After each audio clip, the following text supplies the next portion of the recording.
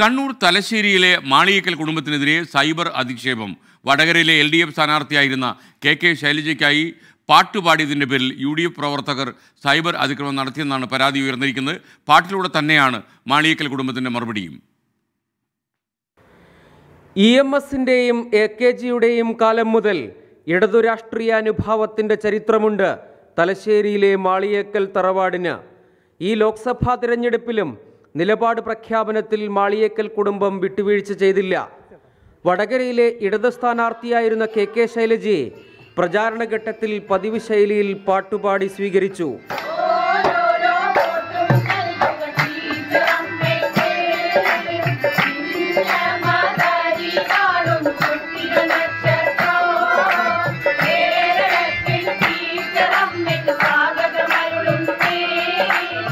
K K ശൈലജയുടെ തിരഞ്ഞെടുപ്പ് തോൽവിക്ക് പിന്നാലെ കോൺഗ്രസ് മുസ്ലിം ലീഗ് അണികളുടെ വക സൈബർ അധിക്ഷേപം പരിഹാസം.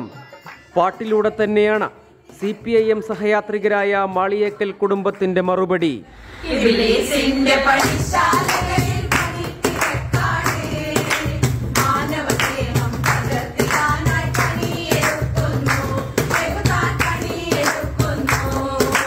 ഒരു തെരഞ്ഞെടുപ്പ് ഉണ്ടാകുമ്പോൾ സാധാരണയല്ലേ? ജയവും തോൽവിയും അത് ഒരാൾ ജയിക്കും ഒരാൾ തോക്കും.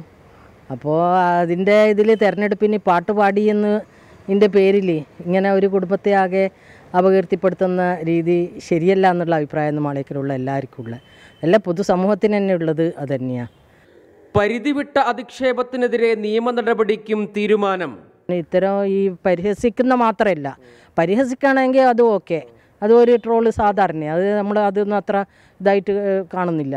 ഇത് ഒരു അശ്ലീലം കലർന്ന വാക്കുകളിലൂടെയുള്ള ഇത് വരുന്നതാണ് നമുക്ക് പിന്നെ വല്ലാത്മ തോന്നിയത്. അപ്പോൾ അതിനെതിരെ നമ്മൾ പ്രതികരിക്കണം എന്ന് തന്നെയാന്ന് പറഞ്ഞത്.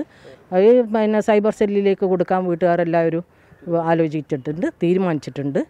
അടിയന്തരാവസ്ഥക്കാലത്ത് പ്രതിഷേധത്തിന് പാട്ടിന്റെ വഴിയും തിരഞ്ഞെടുത്തവരാണ് മാളിയേക്കൽ കുടുംബം. മലബാറിൽ ആദ്യമായി ഇംഗ്ലീഷ് വിദ്യാഭ്യാസം നേടിയ മാളിയേക്കൽ മറിയുമ്മയുടെ തറവാടിന് വെല്ലുവിളികൾ പുത്തിരിയല്ലെന്ന് പറയുന്നു കുടുംബാംഗങ്ങൾ.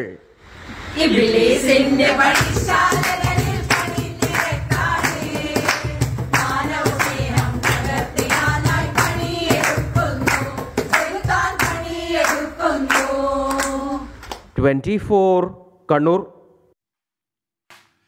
ഇന്ന് വൈകുന്നേരം തിരുവനന്തപുരത്ത് മുടവൻമുകൾ പി കേശവദേവ് ഹാളിൽ പി കേശവദേവ് സാഹിത്യ പുരസ്കാരം നടക്കുന്നുണ്ട്. ഇത്തവണത്തെ പി കേശവദേവ് സാഹിത്യ പുരസ്കാരം നേടിയത് ചലച്ചിത്ര സംവിധായകൻ അടൂർ ഗോപാലകൃഷ്ണനാണ്. അതേപോലെ കേശവദേവ് ഡയാബി സ്ക്രീൻ പുരസ്കാരം നേടിയിരിക്കുന്ന പ്രശസ്ത മനഃശാസ്ത്രജ്ഞനായ ഡോക്ടർ സി ജെ ജോൺ ആണ്. ഇന്ന് വൈകുന്നേരം നാല് മണിക്കാണ് ചടങ്ങ്. തിരുവനന്തപുരം മുടവൻ മുകളിലും നമ്മുടെ അടൂർ ഗോപാലകൃഷ്ണനൊക്കെ ഒരു നമുക്കൊരു പുരസ്കാരം കിട്ടിയതിന്റെ പേരിൽ ആശംസ തരാനുള്ള ധൈര്യം നമുക്കില്ലെങ്കിലും ഒരു ഒരു സൗഹൃദത്തിന്റെ പേരിൽ ആശംസകൾ നേരി